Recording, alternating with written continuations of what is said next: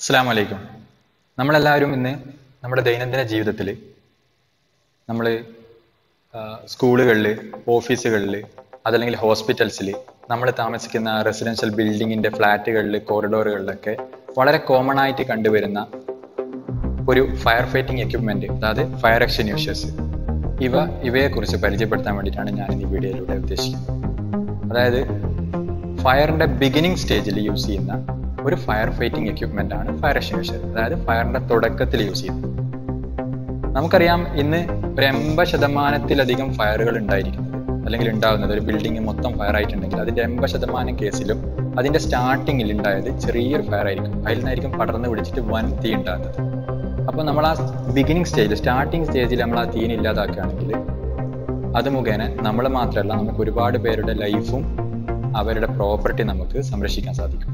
അപ്പം ഈ fire extinguisher പ്രോപ്പറായി use ചെയ്യാൻ അറിയുക അതായത് എത്ര വിധത്തിലുണ്ട് അത് എങ്ങനെയാണ് യൂസ് ചെയ്യേണ്ടതെന്ന് അറിഞ്ഞിരിക്കുക എന്നുള്ളത് ഓരോ വ്യക്തിയെ സംബന്ധിച്ചിടത്തോളം ഒരു ഇമ്പോർട്ടന്റ് ആയ കാര്യം തന്നെയാണ്. അതുകൊണ്ട് നമുക്ക് ഇതെങ്ങനെയാണ് എത്ര വിധമുണ്ടെന്നും എങ്ങനെയാണ് ഉപയോഗിക്കേണ്ടതെന്നും നമുക്ക് ഈ വീഡിയോയിലൂടെ ഒന്ന് പഠിക്കാൻ ശ്രമിക്കാം. ആദ്യം നമുക്ക് എന്താണ് തീ അഥവാ ഫയർ എന്ന് നോക്കാം. Fuel plus heat plus oxygen ഇത് മൂന്നും കൂടി കൂടിച്ചേരുമ്പം ഉണ്ടാകുന്ന രാസപ്രവർത്തനമാണ് ഫയർ അതാണ് ഇതിന്റെ ഫയറിന്റെ ശാസ്ത്രീയ വശം. അത് നമ്മൾ ആദ്യം മനസ്സിലാക്കണം. ഇവിടെ ഞാൻ ഫ്യുവൽ എന്ന് ഉദ്ദേശിച്ചത് എന്തുമാവാം? അതായത് നമ്മൾ ഏത് വസ്തുവാണോ ഫയർ ആയിട്ടുള്ളത് അതാണ് ഫ്യുവൽ പേപ്പർ ആണെങ്കിൽ പേപ്പർ പ്ലാസ്റ്റിക് ആണെങ്കിൽ പ്ലാസ്റ്റിക് ഓയിൽ ആണെങ്കിൽ ഓയിൽ അപ്പൊ അത് എന്താണോ ആ ബേണായ വസ്തു കത്തിയ വസ്തു അതാണ് ഫ്യൂവലായിട്ട് ഞാനായിട്ട് സങ്കല്പിച്ചത്. അപ്പൊ അതിനോട് ഓക്സിജൻ കൂടി ചേരും അതുകൂടാതെ അതിന്റെ കൂടെ ഇൻഡ അതായത് നമ്മുടെ ഇൻഡക്ഷൻ ടെമ്പറേച്ചർ ഉണ്ടാവുമല്ലോ. മീൻസ് അതാണ് ഹീറ്റ് അതായത് അവിടെ കത്താൻ എടുക്കുന്ന ചൂട്. ഈ മൂന്ന് സാധനങ്ങൾ ഒരേ സമയം കൂടിച്ചേരുമ്പോൾ. ഇപ്പം നമ്മളൊരു കാർബോർഡ് അവിടെ വെച്ച് ഒരു സ്ഥലത്ത് കൂട്ടിയിട്ടു. അതിലേക്ക് നന്ന നല്ല ചൂടും അടിക്കുന്നുണ്ട്. നന്നായിട്ട് ഓക്സിജനും കിട്ടുകയാണെങ്കിൽ നമുക്കറിയാം ഓട്ടോമാറ്റിക്കലി അവിടെ ഫയർ ഉണ്ടാവും എന്നുള്ള കാര്യം. അപ്പൊ അതാണ് അങ്ങനെയാണ് ഫയർ ഉണ്ടാകുന്നത് അപ്പൊ അതിൽ നിന്നും ഫയർ ഇല്ലാതാക്കണമെങ്കിൽ അതിൽ ഏതെങ്കിലും ഒരു കണ്ടന്റിനോ അല്ലെങ്കിൽ ഏതെങ്കിലും രണ്ട് കണ്ടന്റിനോ നമ്മൾ എന്താക്കണം വേർപെടുത്തിയിട്ട് രണ്ടാക്കണം. അതാണ് ഫയർ എക്സ്റ്റിങ്ഷറിന്റെ വർക്കിംഗ് ഇപ്പൊ നമ്മൾ ഈ മൂന്ന് വസ്തുക്കൾ മീൻസ് നമ്മളിവിടെ ഫ്യൂവൽ എന്ന് പറഞ്ഞത് ഏത് വസ്തുവാണോ കത്തുന്നത് ആ വസ്തു പ്ലസ് ഹീറ്റ് പ്ലസ് ഓക്സിജൻ അതിൽ നമ്മൾ ഓക്സിജനെ മാറ്റി നിർത്തുകയാണെങ്കിൽ അവിടെ എന്താവും? ഫയർ ഉണ്ടാവും. ഇനി ഓക്സിജനും ഫ്യൂവലും അവിടെ വെച്ചിട്ട് നമ്മൾ അതിൽ നിന്ന് ഹീറ്റിനെ മാത്രം മാറ്റുകയാണെങ്കിൽ അന്നേരം ഫ്യൂവൽ തീയില്ലാണ്ടാവും അപ്പൊ അതുപോലെ നമ്മൾ ഏതെങ്കിലും രണ്ട് വസ്തുക്കളെ മാറ്റിയാൽ വളരെ പെട്ടെന്ന് തന്നെ നമുക്ക് തീയില്ലാണ്ടാക്കാൻ ശ്രമിക്കും. അപ്പൊ ഇതാണ് ഫയർ എക്സ്റ്റിങ്വിഷറിന്റെ വർക്കിംഗ് ഈ മൂന്ന് കൂടിച്ചേരുന്ന കണ്ടന്റിൽ നിന്നും ഏതെങ്കിലും ഒന്നിനെയോ അതല്ലെങ്കിൽ ഏതെങ്കിലും എണ്ണത്തിനെയോ അത് മാറ്റി നിർത്തും. ഉദാഹരണത്തിന് ഞാൻ എടുക്കാം. ഇത് C O two carbon dioxide extinguisher ആണ്.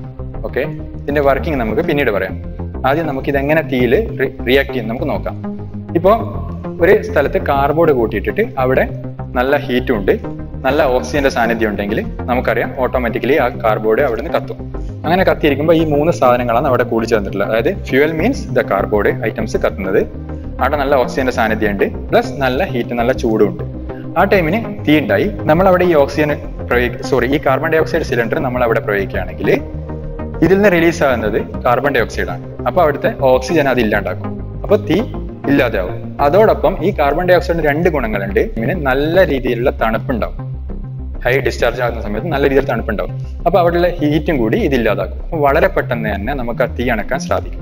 അതാണ് ശരിക്കും ഫയർ എക്സ്റ്റിങ്വിഷറിന്റെ വർക്കിംഗ് അപ്പൊ നമ്മൾ ഈ മൂന്ന് വസ്തുക്കൾ കൂടി ചേർന്നിട്ടാണ് ഫയർ ഉണ്ടാകുന്നുള്ളത് നമ്മൾ മനസ്സിലാക്കി. ഓക്കെ അതിൽ ഈ ഫ്യൂവൽ ഏതാണോ ഇവിടെ ഫയർ ആവുന്ന വസ്തു അതാണ് നമ്മൾ ഫ്യൂവലായിട്ട് സങ്കല്പിക്കുന്നത്.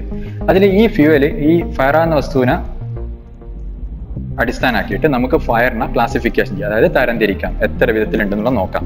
ഓക്കെ പൊതുവേ അഞ്ച് വിധത്തിലാണ് ഇപ്പൊ ഞാൻ കോമൺ ആയിട്ടുള്ള കാര്യങ്ങളാണ് പറയുന്നത്. അതുകൊണ്ട് അഞ്ച് വിധത്തിലുള്ള ഫയറുകളെ കുറിച്ച് നമുക്ക് പഠിക്കാം. Class A class B class C class D and class K okay class A fire നമുക്ക് നോക്കാം. Class A means wood paper അഥവാ കാർഡ്ബോർഡ് ഐറ്റംസ് പ്ലാസ്റ്റിക് ഐറ്റംസ് ഇങ്ങനെയുള്ള സാധനങ്ങൾ ഫയർ ആയിട്ടുണ്ടാകുന്ന ഫയറുകൾ നമ്മൾ ക്ലാസ് എ ഫയർസ് എന്ന് പറയും. ഇതിനു വേണ്ടി നമ്മൾ യൂസ് ചെയ്യുന്ന ചോയ്സ് ചെയ്യുന്ന ഫയർ എക്സ്റ്റിങ്വിഷർ ആണ് വാട്ടർ ഫയർ എക്സ്റ്റിങ്വിഷർ നിങ്ങൾ കാണുന്നുണ്ടാവും. അതായത് ക്ലാസ് എ അതിൽ മെൻഷൻ ചെയ്തിട്ടുണ്ടാവും. വാട്ടർ ഫയർ എക്സ്റ്റിങ്വിഷർ ചൂസ് ചെയ്യലാണ്.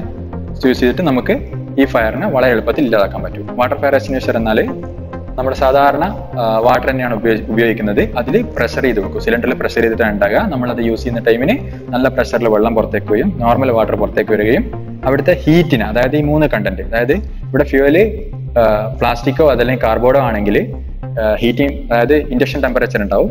അപ്പൊ ഈ സാധനം പിന്നെ ഓക്സിജൻ ഈ മൂന്നെണ്ണം കൂടി ചേരുന്നത്. അതിൽ നിന്ന് ഹീറ്റിനെ അതായത് ഇൻഡക്ഷൻ ടെമ്പറേച്ചറിനെ ഇല്ലാതാക്കുകയാണ് ഈ വാട്ടർ ഫയർ അവിടെ ചെയ്യുന്നത്. അപ്പോൾ ഇത് ഈ class A ഫയർസിന് A B C powder use ചെയ്യാൻ പറ്റും. കാരണം എ ക്ലാസ് ഫയറും എ ബി സി പൗഡറിൽ അടങ്ങുന്നുണ്ട്. അതുപോലെ സി ഒറ്റും യൂസ് ചെയ്യാൻ പറ്റും. അത് നമുക്ക് ഏതൊക്കെ തരത്തിലുള്ളത് പിന്നീട് നമുക്ക് മനസ്സിലാക്കാം. അടുത്തത് class B fires class B means നമ്മുടെ ഫ്ലെയിമബിൾ ലിക്വിഡ്സ് അതായത് പെട്രോൾ ഗ്യാസ് അതുപോലത്തെ ചില നമ്മുടെ നമ്മളെ പാചകത്തിന്റെ ഓയിലിന് ചിലതരം ഓയിലുകൾ ഫ്ലെയിമബിൾ ലിക്വിഡ്സ് ഉണ്ട്. അപ്പം അങ്ങനെയുള്ള ലിക്വിഡ്സിന് നമ്മൾ ലിക്വിഡ്സിനെ നമ്മൾ ക്ലാസ് ബി ഫയർ എന്ന് പറയും. ലിക്വിഡ്സ് ഫയർ ആകുമ്പോൾ നമ്മൾ ക്ലാസ് ബി ഫയർ എന്ന് പറയും. അതിന് നമ്മൾ ക്ലാസ് ബി ഫയർ എക്സ്റ്റിങ്ഷർ ആണ് യൂസ് ചെയ്യുന്നത്. ഓക്കെ ഫയർസ് അഥവാ ഇലക്ട്രിക്കൽ ഫയർ സാധാരണ കോമൺ ആയിട്ട് നമ്മൾ ഇലക്ട്രിക്കൽ ഫയർ മീൻസ് നമ്മൾ അയൺ ബോക്സ് കമ്പ്യൂട്ടർ അതുപോലുള്ള എല്ലാ ഇലക്ട്രോ ഇലക്ട്രിക്കൽ ഇലക്ട്രോണിക്സ് ഉപകരണങ്ങളും നമ്മൾ ക്ലാസ് സിയിലാണ് ഉൾപ്പെടുത്തുന്നത്. അപ്പോൾ ക്ലാസ് സി ഫയർസിന് നമ്മൾ പൊതുവെ ഉപയോഗിക്കാറ് C O two fire extinguisher ആണ്. അത് നമുക്ക് പിന്നീട് മെൻഷൻ ചെയ്യാം. ഓക്കെ അപ്പോൾ class C fire electronics items ആണെന്നുള്ളത് മെയിൻ ആയിട്ടുള്ളത് നമ്മൾ മനസ്സിലാക്കി വെക്കുക. ഓക്കെ ഇനി നമുക്ക് ക്ലാസ് ഡി ഫയർ നോക്കാം. ക്ലാസ് ഡി ഫയർ നമ്മുടെ മാഗ്നീഷ്യം പൊട്ടാസ്യം പോലത്തെ നമ്മുടെ കെമിസ്ട്രി ലാബുകളിലാണ് സാധാരണ class D fire extinguisher use ചെയ്യുക. അത് നമ്മൾ ജസ്റ്റ് മെമ്മറിയിൽ വെച്ചാൽ മതി. അത് ഈ കെമിക്കൽ ഐറ്റംസിന് അതായത് പൊട്ടാസ്യം മഗ്നീഷ്യം പോലത്തെ കെമിക്കൽ ഐറ്റംസിന് വേണ്ടിയിട്ട് കെമിസ്ട്രി ലാബിൽ പോലത്തെ സ്ഥലങ്ങൾക്ക് അത് ആവശ്യമുള്ളൂ. കോമൺ ആയിട്ട് നമ്മൾ പറയുന്നതുകൊണ്ട് അത് അറിഞ്ഞു വെക്കാന്നുള്ള മാത്രം. നെക്സ്റ്റ് ആണ് class K fire class K fire എന്ന് പറഞ്ഞാൽ നമ്മൾ ഈ കൊമേഴ്ഷ്യൽ കിച്ചൺസ് അതായത് വലിയ വലിയ കിച്ചണുകളിലൊക്കെ പാചകത്തിന്റെ എണ്ണ അതായത് പാചക എണ്ണ അതായത് നമ്മൾ വെജിറ്റബിൾ എണ്ണ കുക്കിംഗ് ഓയിലുകൾ അതൊക്കെ ഇതൊക്കെ ഇതാക്കാൻ വേണ്ടിയിട്ടാണ്. അത്തരത്തിലുള്ള സാധനങ്ങൾ കത്തിയിട്ടാകുമ്പോൾ ഫയർ ഇല്ലാതാക്കാൻ വേണ്ടിയിട്ടാണ് class K fire extinguisher use ചെയ്യുന്നത്. അപ്പോൾ അത് ജസ്റ്റ് നമ്മൾ മനസ്സിലാക്കാൻ വേണ്ടി മാത്രമാണ് അതൊന്നും കോമൺ അല്ല. അത് ഞാൻ മനസ്സിലാക്കാൻ വേണ്ടി മാത്രം പറഞ്ഞാണ്. ഇപ്പൊ നമ്മുടെ കിച്ചണിലാണെങ്കിൽ പോലും അതിന്റെ ചെറിയ അതായത് വെറ്റ് കെമിക്കൽ എന്ന് പറയാം. വെറ്റ് കെമിക്കലിന്റെ ചെറിയ സിലിണ്ടറുകൾ കിട്ടാനുണ്ട്. അത് യൂസ് ചെയ്യലായിരിക്കും കിച്ചണിൽ കൂടുതൽ നല്ലത്. കാരണം എണ്ണയിൽ നിന്ന് ഒരു ബാരികാർഡ് ഉണ്ടാക്കും. ഓക്സിജനും അതായത് ഓക്സിജനും ഈ വെജിറ്റബിൾ ഓയിൽസും കൂടി ചേർന്നെടുത്ത് ഒരു ബാരികാർഡ് സൃഷ്ടിക്കുകയാണ് വെറ്റ് കെമിക്കൽ സിലിണ്ടർ ചെയ്യുന്നത്. ജസ്റ്റ് നിങ്ങൾ അറിവിലേക്ക് പറഞ്ഞെന്ന് മാത്രം. നമുക്കിനി കോമൺ ആയിട്ടുള്ള രണ്ട് തരം ഫയർ എക്സ്റ്റിംഗ്വിഷർ ഉണ്ട്. അതായത് ഡി സി പിയും സി ഒ ടും ഇതാണ് നമ്മൾ ഏറ്റവും കൂടുതൽ നമ്മൾ കണ്ടുവരുന്ന പൊതുവെ നമ്മൾ ഈ മെയിനായിട്ട് നിങ്ങളൊക്കെ കണ്ടിട്ടുണ്ടായ ഈ രണ്ട് ഫയർ എക്സ്റ്റിംഗ്വിഷർ ആയിരിക്കും. ഈ പറഞ്ഞ ഏകദേശം എല്ലാ തരം ക്ലാസ്സുകൾക്കും യൂസ് ചെയ്യാൻ പറ്റുന്ന രണ്ട് തരം സിലിണ്ടറുകളാണിത് നമുക്കിത് എങ്ങനെയാണ് യൂസ് ചെയ്യാമെന്നും എങ്ങനെയാണ് ഇതിന്റെ വർക്കിംഗ് പ്രോസസ് എന്നും നമുക്ക് ഒന്ന് മനസ്സിലാക്കാം. നമ്മളൊരു എക്സ്റ്റിംഗ്വിഷർ ഫസ്റ്റ് നോക്കേണ്ടത് ഏതൊരു എസ്റ്റിമേഷൻ എടുക്കുമ്പോൾ നമ്മൾ ആ ഉപയോഗത്തിനനുസരിച്ച് ക്ലാസിഫിക്കേഷൻ ആണോ എക്സ്റ്റിങ്വിഷർ ലാബിൽ ഉള്ളത് നമ്മൾ നോക്കണം. അതായത് ഇതാണ് D C P fire extinguisher ഇത് C O two fire extinguisher D C P എന്ന് പറഞ്ഞാൽ എ ബി സി എക്സ്റ്റിങ്വിഷർ എന്ന് പറയും. A B C fire extinguisher എന്നും D C P dry chemical powder extinguisher എന്നും ഇതിന് പേരുണ്ട്. അപ്പൊ ഇത് ക്ലാസിഫിക്കേഷൻ ആണ് ഉദ്ദേശിക്കുന്നത് class A class B class C fire ഇത് ഇമെയിൽ മെൻഷൻ ചെയ്തിട്ടുണ്ട്. അതുപോലെ ഇതാണ് വെറും കാർബൺ ഡൈ ഓക്സൈഡ് അതായത് C O two fire extinguisher ഇത് class B and class C അതായത് ഇലക്ട്രിക്കൽ ഫയർ ഈ രണ്ട് ഫയറിനാണ് മെയിൻ ആയിട്ട് ഇത് യൂസ് ചെയ്യുന്നത്. ഇതിൽ ക്ലാസ് ബിയും ക്ലാസ് ലിയും ഇൻക്ലൂഡ് ആണ്. ഇത് എല്ലാത്തിനും കോമൺ ആയിട്ട് യൂസ് ചെയ്യാൻ പറ്റുന്ന ഫയർ എക്സ്റ്റിങ്വിഷർ ആണ്. പക്ഷെ ഇത് ഡ്രൈ കെമിക്കൽ പൗഡർ ആണ്. ഇതിന്റെ ഉള്ളിൽ powder with carbon dioxide ഇത് ഓൺലി കാർബൺ ഡൈ ഓക്സൈഡ് ഇതാണ് ഈ രണ്ട് സിലിണ്ടറും തമ്മിലുള്ള വ്യത്യാസം. അപ്പൊ നമുക്ക് എന്തുകൊണ്ട് ഈ സിലിണ്ടർ അതായത് ഈ കാർബൺ ഡൈ ഓക്സൈഡ് സിലിണ്ടർ നമ്മൾ കൂടുതലായിട്ട് ഇലക്ട്രോണിക്സ് ഐറ്റംസിന് മീൻസ് നമ്മളിപ്പം ഒരു കമ്പ്യൂട്ടറോ അതല്ലെങ്കിൽ നമ്മൾ അയൺ ബോക്സോ അങ്ങനെയുള്ള സാധനങ്ങൾ ഇലക്ട്രോണിക്സ് എക്യുപ്മെന്റ് ബേൺ ആകുകയാണെങ്കിൽ അല്ലെങ്കിൽ ഫയർ ആകുകയാണെങ്കിൽ ഉപയോഗിക്കുന്നത് വെച്ചാൽ അതിനുള്ള കാരണം ഇത് ഓൺലി സി ഒ ടു ആണ് കാർബൺ ഡൈ ഓക്സൈഡ് ആണ്. ഇതിന്റെ അകത്ത് കെമിക്കൽ പൗഡർ കൂടിയുണ്ട്. ഇപ്പൊ നിങ്ങൾ സങ്കല്പിക്കുക നമ്മളെ ഒരു ഡെസ്ക് ടോപ്പ് സിസ്റ്റം നമുക്കിവിടെ ഫയർ ആകാൻ കൂട്ടി അതിന്റെ ഒരു കീബോർഡ് ആയിരിക്കും ചിലപ്പം ഫയർ ആയിട്ടുണ്ടാകുക അപ്പൊ അതിന്റെ കൂടെ മോണിറ്റർ ഉണ്ട് സ്പീക്കർ ഉണ്ട് മൗസ് ഉണ്ട് മറ്റ് അനുബന്ധ ഉപകരണങ്ങൾ നമ്മുടെ ഗെയിമിന്റെ സ്റ്റിക്ക് കാര്യങ്ങളൊക്കെ നമ്മളെ ടേബിളിൽ ഉണ്ടാവും അപ്പൊ നമ്മളവിടെ ഈ fire extinguisher D C P ആണ് യൂസ് ചെയ്യുന്നതാണെങ്കിൽ എല്ലാ സാധനങ്ങളും നമ്മളെ പൊടിയേരി ഡാമേജ് ആകും. അപ്പൊ നമ്മളവിടെ സി ഒ ടി യൂസ് ചെയ്യുകയാണെങ്കിൽ ഏത് സാധനമാണോ ബേൺ ആയിട്ട് ഫയർ ആയിട്ടുള്ളത് ആ ഒരു സാധനം പ്രോപ്പർ സാധനം മാത്രമേ അവിടെ ഡാമേജ് ആകുകയുള്ളൂ. ബാക്കിയെല്ലാ സാധനം സേഫ് ആയിരിക്കും. അപ്പൊ ഇപ്പൊ നല്ലത് ഇലക്ട്രിക്കൽ ഫയറിന് സി ഒ ടി യൂസ് ചെയ്യുന്നതായിരിക്കും. അതുപോലെ ഒരു കാരണവശാലും ഇലക്ട്രിക്കൽ ഫയറിന് വാട്ടർ ഫയർ എക്സ്റ്റിന്യൂഷറോ അല്ലെങ്കിൽ വെള്ളം കൊണ്ടോ നമ്മൾ കെടുത്താൻ ശ്രമിക്കരുത്. അത് വളരെ അപകടം ചെയ്യും. കാരണം തീ അണക്കാൻ ശ്രമിക്കുമ്പോൾ നമ്മൾ പ്രത്യേകം ശ്രദ്ധിക്കണം. വാട്ടർ ഫയർ എക്സ്റ്റിന്യൂഷർ നമ്മൾ എപ്പോൾ യൂസ് ചെയ്യുന്നുണ്ടെങ്കിലും അവിടെ ഒരിക്കലും ഇലക്ട്രിക്കലിന്റെ സാന്നിധ്യം അല്ലെങ്കിൽ ഇലക്ട്രിസിറ്റിന്റെ സാന്നിധ്യം അവിടെ ഇല്ല നമ്മൾ ഉറപ്പുവരുത്തണം. വൈദ്യുതിയുള്ള സ്ഥലത്ത് നമ്മൾ വെള്ളത്തിന്റെ ഫയർ എക്സ്റ്റിന്യൂഷർ ഉപയോഗിക്കുകയാണെങ്കിൽ വാട്ടർ ഫയർ എക്സ്റ്റിന്യൂഷർ ഉപയോഗിക്കുകയാണെങ്കിൽ അത് നമുക്ക് ഷോക്കിന്റെ ആഘാതം ഏൽക്കാനും അതല്ലെങ്കിൽ ആ ഷോർട്ട് സർക്യൂട്ട് ഉണ്ടായിട്ട് അവിടെ അതിൽ കൂടുതലുള്ള നഷ്ടം ഉണ്ടാക്കാനും ഉള്ള ചാൻസ് ഉണ്ട്. അപ്പോൾ നമ്മൾ അത് കാര്യം പ്രത്യേകം ശ്രദ്ധിക്കാം. അപ്പോൾ നമുക്ക് ഫയർ എക്സ്റ്റിങ്ഷർ എങ്ങനെയാണ് ഉപയോഗിക്കേണ്ടതെന്നുള്ളത് നോക്കാം. അതിനുശേഷം നമുക്ക് ഒരു ഫയർ കണ്ടിട്ടാകുമ്പോൾ എന്താണ് ചെയ്യേണ്ടതെന്നുള്ള സ്റ്റെപ്പ് ബൈ സ്റ്റെപ്പ് ആയിട്ട് ഞാൻ പറഞ്ഞുതരാം. അപ്പോൾ ആദ്യമായിട്ട് നമുക്ക് ഫയർ എക്സ്റ്റിങ്ഷർ എങ്ങനെയാണ് ഉപയോഗിക്കേണ്ടതെന്ന് നോക്കാം. നമ്മൾ ഇതിനു വേണ്ടി ഒരു ഫോർമാറ്റ് നമുക്ക് എപ്പോൾ നമ്മുടെ മെമ്മറിയിൽ ഓർമ്മിച്ച് വെക്കാം. വളരെ എളുപ്പത്തിൽ നമുക്ക് മനസ്സിലാക്കാൻ വേണ്ടിയുള്ള ഒരു ഫോർമാറ്റ് പറയുന്നത്. കാരണം നമ്മളിത് കുറച്ച് കാലം മറന്നു വന്നിട്ടാണ് ഒരു ഫോർമാറ്റ് അതായത് PASS P A S S അതാണ് പാസ് ഈ ഫോർമാറ്റ് നമ്മൾ നമ്മുടെ മെമ്മറിയിൽ വെക്കുകയാണെങ്കിൽ നമുക്ക് എപ്പോഴും ഇത് ഉപയോഗിക്കേണ്ട എങ്ങനെയാണെന്നുള്ളത് ഓർമ്മിച്ച് വെക്കാൻ പറ്റും.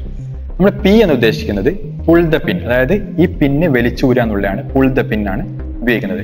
ഇവിടെ ഒരു പിന്നാണ് നിങ്ങൾ അതായത് നമ്മൾ ഈ ഹാൻഡിൽ ഉപയോഗിച്ചിട്ട് നമ്മൾ ഈ ഫയർ എക്സ്റ്റിങ്ഷർ എടുക്കുക അങ്ങോട്ടും ഇങ്ങോട്ടും വെക്കുകയൊക്കെ ചെയ്യുന്ന ടൈമിന് ഇത് റിലീസ് ആയി പോകുന്നതിന് വേണ്ടിയിട്ട് ഇതിനൊരു ലോക്ക് സിസ്റ്റം ആണ് ഈ പിന്ന് ഓക്കെ ഈ പിന്ന് നമ്മൾ പുള്ളിയാണ് ഓക്കെ അതോടൊപ്പം ഒരു കാര്യം പറയേണ്ടത് ഈ പിന്നിന്റെ പിറകിൽ എപ്പോഴും ഒരു സേഫ്റ്റി ലോക്ക് ഉണ്ടാവും. ചിലപ്പോൾ ഒരു സിപ്പ് ടാഗ് ആയിരിക്കും ഉണ്ടാകുക അപ്പൊ ഇത് നമുക്കൊരു സേഫ്റ്റിക്ക് വേണ്ടിയിട്ടാണ്. കാരണം ഈ എക്സ്റ്റിന്യൂഷർ ഇതിന് മുന്നേ ആരും ഉപയോഗിച്ചില്ല എന്നുള്ളതിനുള്ള ഒരു സിമ്പിളാണ് ഒരുപക്ഷെ നമുക്ക് ഡി സി പി ആണെങ്കിൽ ഇവിടെ ഒരു മീറ്റർ കാണാൻ സാധിക്കും. നിങ്ങൾ കാണുന്നുണ്ടോ മീറ്റർ ആ മീറ്റർ നോക്കിക്കൊണ്ട് ഗ്രീനിൽ ആ മീറ്റർ ആണെങ്കിൽ നമുക്ക് ഇത് നോർമൽ ആണെന്നുള്ളത് ഉറപ്പിക്കാം.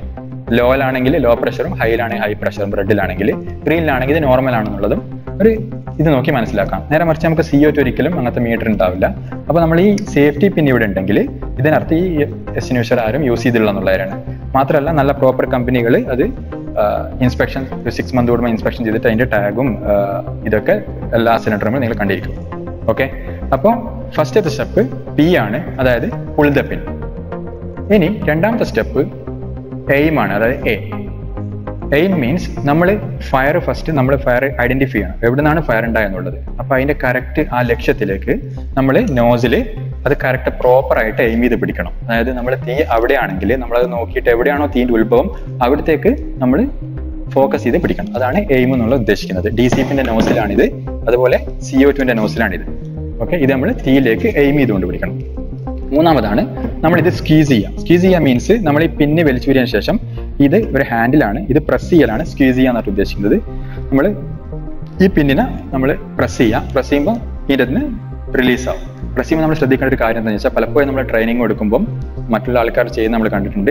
ഒറ്റയടിക്ക് നമ്മൾ പ്രസ് ചെയ്യുകയാണെങ്കിൽ. മീൻസ് ഫുള്ളായിട്ട് നമ്മൾ പ്രസ് ചെയ്യുകയാണെങ്കിൽ പെട്ടെന്ന് റിലീസ് ആകുന്ന ടൈമിന് കൂടുതലായിട്ട് വരാനും കൂടുതലായിട്ട് കാർബൺ ഡൈ ഓക്സൈഡ് പുറത്തേക്ക് വരാനും ആ ടൈമിന് നമ്മളിപ്പം കാർബോർഡ് പോലത്തെ വസ്തുക്കളാണെങ്കിൽ അത് വളരെ സ്പീഡിൽ പോകുന്ന ടൈമിന് ആ ഫയറിന്റെ ഫയറായ വസ്തുക്കൾ പാറിയിട്ട് അല്ലെങ്കിൽ അപ്പുറം ഇപ്പുറം പോയിട്ട് തീ പടർന്നു പിടിക്കാനുള്ള ചാൻസ് ഉണ്ട്. അതുകൊണ്ട് വളരെ മെല്ലെ മെല്ലെ സ്ക്യൂസ് ചെയ്ത് അതായത് പ്രസ് ചെയ്തുകൊണ്ട് റിലീസ് ചെയ്യാൻ ശ്രമിക്കണം. ഓക്കെ അപ്പോൾ നമ്മൾ രണ്ട് മൂന്ന് സ്റ്റെപ്പ് കഴിഞ്ഞു. അതായത് pull the pin and aim നമ്മൾ എയിമിലേക്ക് പിടിച്ചു. പിന്നെ നെക്സ്റ്റ് നമ്മൾ സ്ക്യൂസ് ചെയ്തു പ്രസ് ചെയ്തു. അതിനുശേഷം നമ്മൾ ചെയ്യേണ്ടത് സ്വീപ്പ് ചെയ്യാണ് വേണ്ടത്. അതായത് നമ്മൾ തീ എവിടെ മുതൽ എവിടം വരെ ഉണ്ടോ അവിടത്തേക്ക് ഇതുപോലെ ഇങ്ങനെ നമ്മൾ സ്വീപ്പ് ചെയ്യുക. വീഡിയോ നോക്കുക. എങ്ങനെയാണോ തീ നമ്മൾ സ്വീപ്പ് ചെയ്തിട്ട് ഇല്ലാതാക്കുന്നുള്ള വീഡിയോ ഒക്കെ നിങ്ങൾക്ക് മനസ്സിലാവുന്നതായിരിക്കും. ഓക്കെ അപ്പൊ ഈ നാല് സ്റ്റെപ്പുകൾ നമ്മൾ ഓർമ്മിക്കുകയാണെങ്കിൽ നമുക്ക് വളരെ എളുപ്പത്തിൽ ഫയർ എക്സ്റ്റിങ്വിഷർ യൂസ് ചെയ്യാൻ പറ്റുന്നതാണ്. പാസ്നുള്ള ഈ ഒരു കണ്ടന്റ് ഓർമ്മിക്കുക. അതിനുശേഷം നമ്മൾ പുളിത പിൻ രണ്ടാമത്തെ സ്റ്റെപ്പ് നമ്മൾ എവിടെയാണോ തീ അതിലേക്ക് എയിം ചെയ്ത് പിടിക്കുക. മൂന്നാമത് നമ്മൾ ഇത് സ്ക്യൂസ് ചെയ്യുക. നാലാമത് നമ്മൾ സ്വീപ്പ് ചെയ്യുക. ഓക്കെ ഇതാണ് ഫയർ എക്സ്റ്റിങ്വിഷർ എങ്ങനെയാണ് യൂസ് ചെയ്യേണ്ടതെന്നുള്ള സ്റ്റെപ്പുകൾ അപ്പൊ അടുത്തായിട്ട് നമ്മൾ മനസ്സിലാക്കേണ്ടത് ഇപ്പൊ ഞാനൊരു നമ്മളിപ്പോൾ എന്തെല്ലാം കാര്യങ്ങൾ പഠിച്ചു? ക്ലാസിഫിക്കേഷൻസ് ഫയർ പഠിച്ചു. എങ്ങനെയാണ് ഫയർ എക്സ്റ്റിങ്വിഷർ യൂസ് ചെയ്യേണ്ടതെന്ന് പഠിച്ചു. ഓക്കെ അപ്പോൾ നമ്മളൊരു ഫയർ ഞാൻ കാണാൻ പഠിക്കും ഓക്കെ ഫസ്റ്റ് ഓഫ് ഓൾ നമ്മൾ ഒരു ഫയർ കണ്ടാൽ നമ്മൾ പ്രോപ്പർ ആയിട്ടുള്ള ഏത് ഫയർ ആണെന്ന് ഫസ്റ്റ് നമ്മൾ ഐഡന്റിഫൈ ചെയ്യാം. ഓക്കെ അപ്പോൾ ഞാൻ മനസ്സിലാക്കി അതൊരു കാർബോർഡോ മറ്റ് ഐറ്റംസോ അല്ലെങ്കിൽ ഇലക്ട്രിക്കലിന്റെ ഒരു അയൺ ബോക്സ് ആണ് അവിടെ ഫയർ ആയിട്ടുള്ളത് മനസ്സിലാക്കി. ഓക്കെ അപ്പൊ നെക്സ്റ്റ് സ്റ്റെപ്പ് ഞാൻ ഏത് ഫയർ എക്സ്റ്റിങ്വിഷർ ആണ് തിരഞ്ഞെടുക്കണം എന്നുള്ളത് എന്റെ മനസ്സിലേക്ക് വരണം. ഞാൻ ഒരിക്കലും പോയിട്ട് ഇവിടെ വാട്ടർ ഫയർ എക്സ്റ്റിങ്വിഷർ അതായത് ക്ലാസ് എ മാത്രമുള്ള വാട്ടർ ഫയർ എക്സ്റ്റിങ്വിഷർ എന്ന് ഇവിടെ കാണുന്നുണ്ടാവും. വാട്ടർ ഫയർ എക്സ്റ്റിങ്വിഷർ നമ്മൾ തിരഞ്ഞെടുക്കുന്നുണ്ടെങ്കിൽ അത് ഫൗളാണ് മീൻസ് വാട്ടർ കൊണ്ടുപോയി നമ്മൾ അയൺ ബോക്സ് മേലെ അടിച്ചാൽ അവിടെ വൈദ്യുതി ഉണ്ടാവും ആഘാതം ഉണ്ടാവും അത് പ്രശ്നങ്ങൾ ഉണ്ടാക്കും. അപ്പൊ നമ്മൾ അവിടെ ചൂസ് ചെയ്യേണ്ടത് ഒന്നിക്കിൽ എ ബി സി പൗഡർ അതല്ലെങ്കിൽ കാർബൺ ഡൈ ഓക്സൈഡ് അതായത് സി ഒ ടു ഈ രണ്ടിലൊരു ഫയർ എക്സ്റ്റിങ്വിഷർ നമ്മളിപ്പോൾ സി ഒ ടു ഞാൻ സെലക്ട് ചെയ്തു. ഞാൻ ഫസ്റ്റ് ചിന്തിക്കേണ്ട കാര്യം ഫസ്റ്റ് സ്റ്റെപ്പ് നമ്മൾ പ്രോപ്പർ ആയിട്ടുള്ള സാധനം തിരഞ്ഞെടുക്കുക എന്നുള്ളതാണ്. രണ്ടാമത് നമ്മൾ ഈ ഫയർ എക്സ്റ്റിങ്വിഷർ തിരഞ്ഞെടുത്തതിന് ശേഷം നമ്മൾ നമ്മുടെ എക്സിറ്റ് അതായത് നമ്മളൊരു ബിൽഡിങ്ങിൽ ഇപ്പം ഞാൻ അഞ്ചാമത്തെ ഫ്ലോറിലുള്ളതാണ് ഞാൻ എവിടെയാണെന്നുള്ളത് ഫസ്റ്റ് ഞാൻ വിലയിരുത്തണം. അത് കൂടാതെ എവിടെയാണ് എനിക്ക് നിയർ ബൈ എക്സിറ്റ് ആകാൻ പറ്റാൻ നോക്കണം. കാരണം ഞാൻ എന്റെ സേഫ്റ്റി ഫസ്റ്റ് നോക്കുക. മീൻസ് എവിടെയാണ് എക്സിറ്റ് ഡോർ ഉള്ളത്? ഇൻ കേസ് ഈ തീ പടർന്ന് പിടിക്കുകയാണെങ്കിൽ എനിക്ക് ബിൽഡിങ്ങിൽ നിന്ന് അസംബ്ലി പോയിന്റിലേക്ക് എക്സിറ്റ് ആവണം അപ്പം എക്സിറ്റ് ആണല്ലോ എക്സിറ്റ് ഡോർ ഞാൻ ഫസ്റ്റ് എന്റെ മനസ്സിൽ ഞാൻ കണ്ടുവെക്കുക. അതിനുശേഷം നമ്മൾ ഇപ്പൊ എക്സിറ്റ് ഡോർ എന്റെ അപ്പുറത്തെ വസ്താനുള്ളെങ്കിൽ ഞാൻ ഒരിക്കലും ഇവിടെ നിന്നുകൊണ്ട് തീൻ അണക്കാൻ ശ്രമിക്കരുത്. എക്സിറ്റ് ഡോറിന്റെ ഭാഗത്ത് പോയി നിന്നുകൊണ്ട് തീൻ അണക്കാൻ ശ്രമിക്കാൻ ഏറ്റവും നല്ലത്. കാരണം നമുക്കത് കൺട്രോൾ ചെയ്യാൻ പറ്റിയില്ലെങ്കിൽ ഉടനടി നമുക്ക് പുറത്ത് എക്സിറ്റ് ആവുകയും ഫയർ ഫയർഫോഴ്സിന്റെയോ സിവിൽ ഡിഫൻസിന്റെയോ സേവനം തേടുകയും വേണം. അപ്പോൾ അതിന് വേണ്ടിയിട്ട് നമ്മളത് എപ്പോഴും ശ്രദ്ധിക്കേണ്ട ഒരു കാര്യമാണ്.